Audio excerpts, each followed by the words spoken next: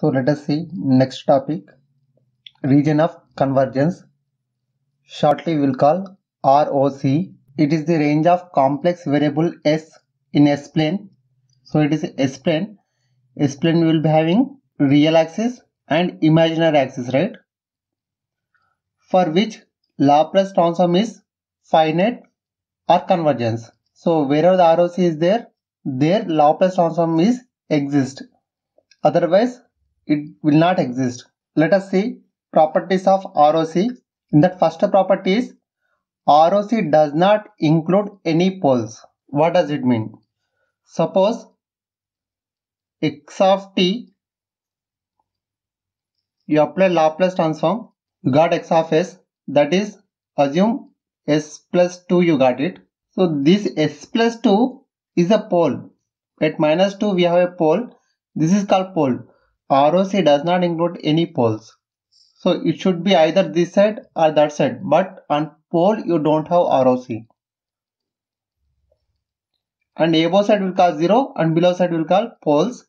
Because if it is s plus 2 equal to 0, then s equal to minus 2, right? If you substitute s equal to minus 2, it will be infinity. It will not exist, right? That's what poles you don't have in ROC. Let us see second property. For right-sided signal, ROC is right side to the rightmost pole. Okay.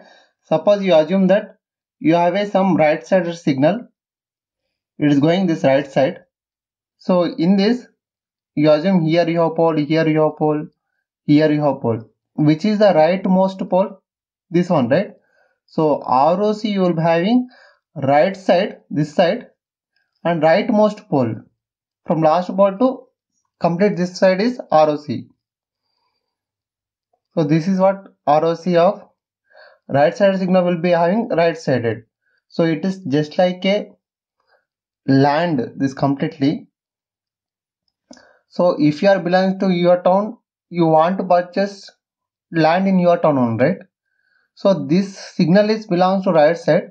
So this signal want to get right sided ROC only. Just example for better understanding only. Let us see third property.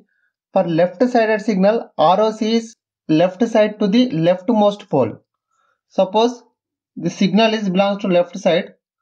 This is going from minus infinity to so on so it's coming. So this ROC is you have assume here, here, here, here you have pole. In this, which is a leftmost pole? This one, right? So ROC is left side to the leftmost pole. This completely ROC only. Right side signal ROC is right side to the rightmost pole and left sided signal is ROC is left side to the leftmost pole. So what will happen? For both sided signal ROC is strip in the S plane. So if it is this side and if you have this side, two sides you have minus infinity to plus infinity, you spread it both side the signal. Then you will having strip kind of because right sided signal want to go right side and left sided signal will be left side. So this is intersection of ROC1 and ROC2. It will form a one strip. This ROC. If you are seeing strip means it is a two-sided signal. Okay, let us see fifth property. For the absolute integrability of a signal or stable system, here in terms of signal, absolutely integrable. In terms of system, stability. ROC should include imaginary axis. See, imaginary axis, if you are including in ROC means, it will be, in terms of signal, it is absolutely integrable. If you are talking about system, it is a stable system. Here let us see example 1. See this ROC is, we have right side and it has a imaginary axis. If you purchase a land, it is on road, it has good value, right? So in our case, omega axis is a one road. It has a good value.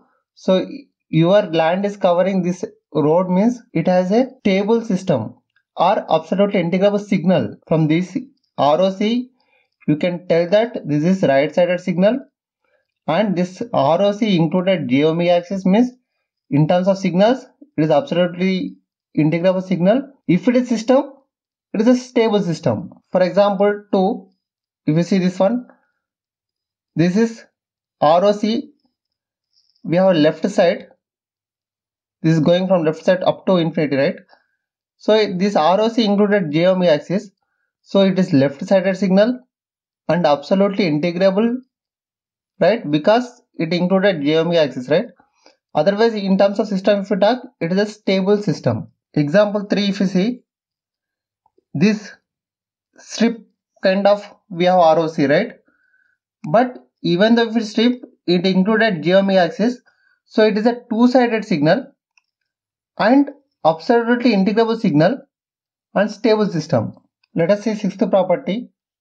Finite duration signal ROC is entire S plane excluding S equal to 0 R and plus infinity R and minus infinity.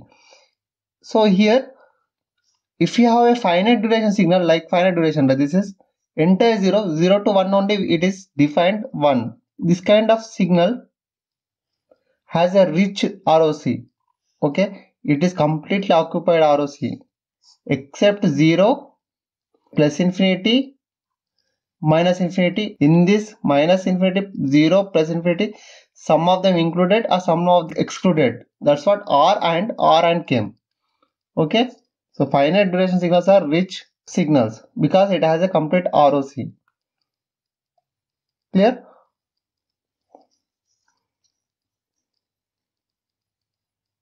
let us solve some examples so that we will get perfection in this topic. Check the stability of LTI system and comment about the extension of h of t. Here h of t Laplace transform is h of s and ROC has given sigma greater than 2.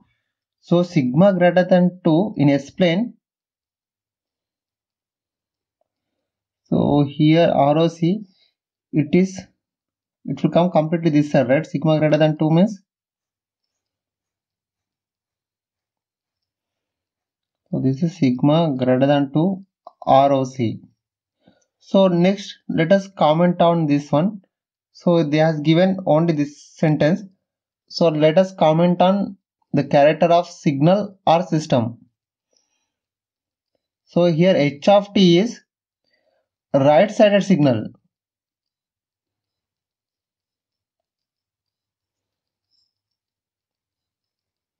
Because it has right sided ROC, right? Next. So is it included j omega axis? No, right? So it is not absolutely integrable.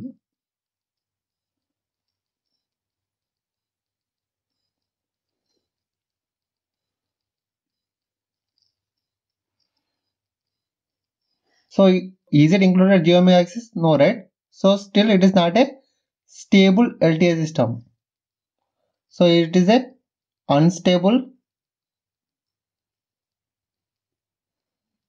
unstable system. Next let us see example 2 h of t Laplace transform is h of s and ROC is sigma less than 2. So here this is 2 and ROC exists this complete left side right sigma less than 2 let us comment on it. H of t here. So it is ROC is existed left side right so it is a left sided signal. And ROC included j axis that means it is a absolutely integrable signal. H of t here is absolutely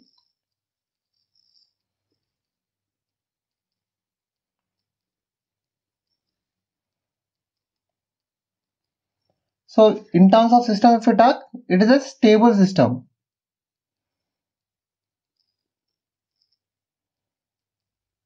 Because it is included j axis. Now let us see third example. Here h of t Laplace transform is h of s and ROC is minus 2 less than sigma less than 1. So it is a minus 2 to plus 1 so this is what ROC.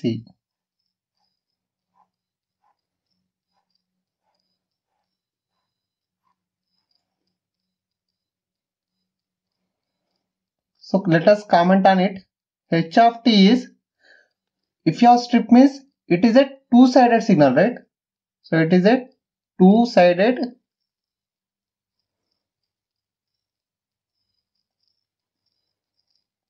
Next, this ROC included j omega axis. That means it is a absolutely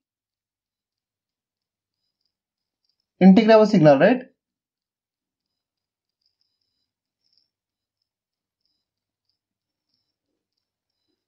Next, in terms of system, it is a stable system. Let us see example for h of t Laplace transform is h of s and ROC is 1 less than sigma less than 3. Here 1 to 3 we have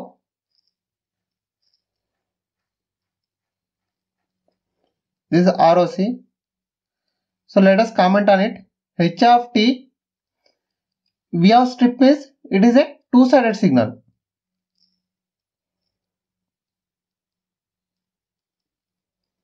Next, is it included j omega axis? No, right? So it is not a absolutely integrable signal. Next, is it stable or unstable? It not included j omega, right? It is an unstable system. So here we are talking about signal. If it is h of t signal, then in terms of signal. But here they ask in terms of system, right? So you need to comment mainly about this one only. Let us see. Fifth one. h of t Laplace transform is h of s. ROC is enter s plane except minus infinity. So here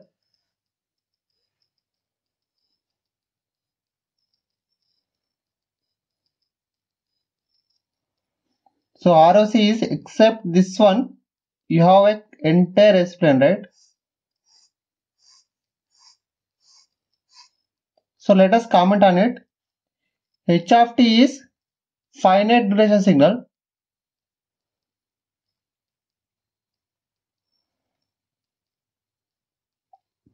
Right?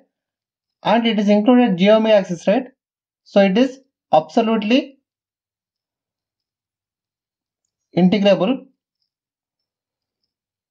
All finite duration signals are absolutely integrable right? If amplitudes are finite. And it is a stable system right? Because it included j omega axis thank you